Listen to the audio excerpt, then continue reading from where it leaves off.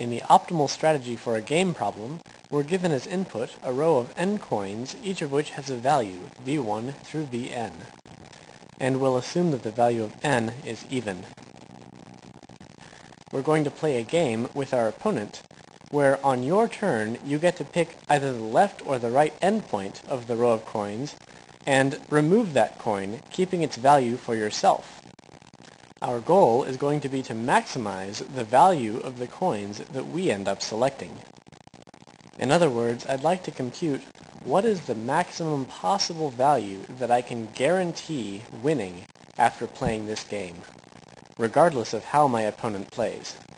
As our dynamic programming subproblems, we'll choose exactly what I just said. Let's let v of ij denote the maximum possible value that we can definitely win, the maximum value we can guarantee winning, if only the subrange from coin i to coin j currently remains, and it's our turn to move.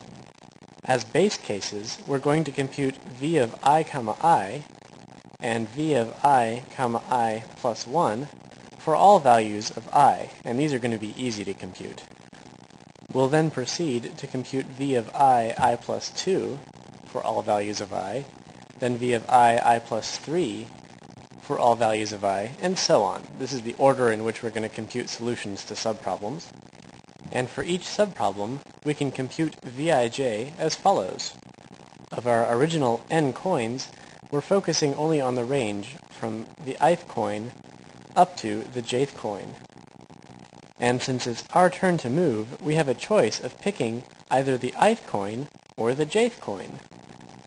Since we would like to pick whichever of these two coins gives us the best result, we're going to choose the maximum of two things, one of which we compute as the best value that we can obtain if we pick the ith coin, and the other of which represents the best value we can obtain if we pick the jth coin. Let's first focus on the case where we pick the ith coin. If we go ahead and pick the ith coin, then the remaining range is going to go from the i plus first coin up to the jth coin. And our opponent will then have the choice of picking the i plus first coin or the jth coin. If our opponent decides to pick the jth coin, then we'll be reduced to the subproblem which has the range from i plus 1 to j minus 1. And so the best value that we can get, since it'll be our turn again, at that point is going to be v i plus 1, j minus 1.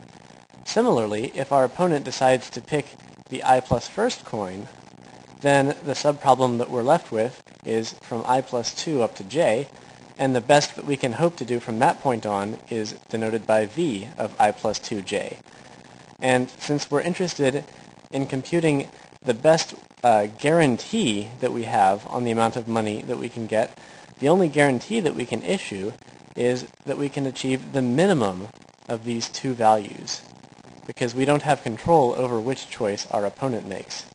If our opponent is smart, then of course he'll choose such that it minimizes the amount of value that we receive, although this algorithm doesn't really depend on any particular strategy for the opponent. And of course I don't want to forget the one remaining piece of this expression. If I actually pick the ith coin, then I also receive, in addition to this minimum, I receive the value of the ith coin, vi. And the other sub-expression, the one that results from when I pick the jth coin first, is very similar. So we've now shown how to compute the value vij in terms of solutions to smaller subproblems. When we implement our algorithm, it's going to have a running time of O of n squared, because there are n squared subproblems, each of which takes O of 1 time to compute.